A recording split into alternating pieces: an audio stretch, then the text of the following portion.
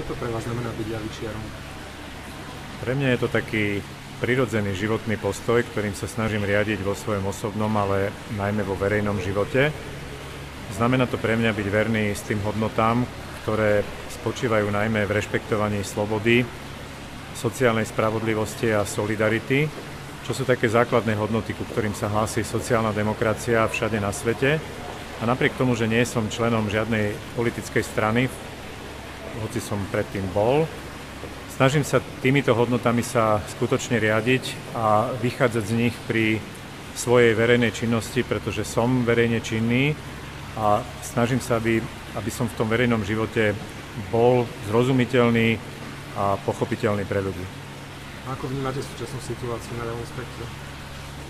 Túto situáciu dnes vnímam tak, že ten priestor je obsadený stranou Smer sociálna demokracia, ktorá ukázala, že dokáže porozumieť problémom ľudí, že dokáže tieto problémy vyjadriť nielen programovo, ale aj osobnostne a získala v posledných voľbách najväčšiu politickú podporu.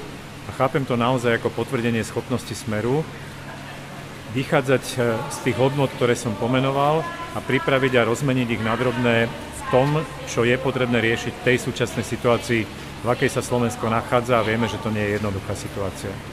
Ako vnímate perspektívu uplatňovania ľavicových ideálov? Je to veľmi zložitá situácia, pretože konfrontovaní sme s svetovou ekonomickou a hospodárskou krízou, ktorá ako keby nám diktovala len jeden rozmer, to znamená škrty, ktoré presadzuje najmä nemecká kancelárka Merkelová. Na druhej strane prišiel impuls, ktorý bol pre mňa prirodzený, logický a od začiatku som ho vnímal, že musí prísť a to je volanie po rastovej politike. To si myslím, že je priestor pre, pre ľavicu, aby dokázala pripraviť eh, takú prorastovú ekonomickú politiku pre krajinu, ktorá bude podporovať hospodársky rast.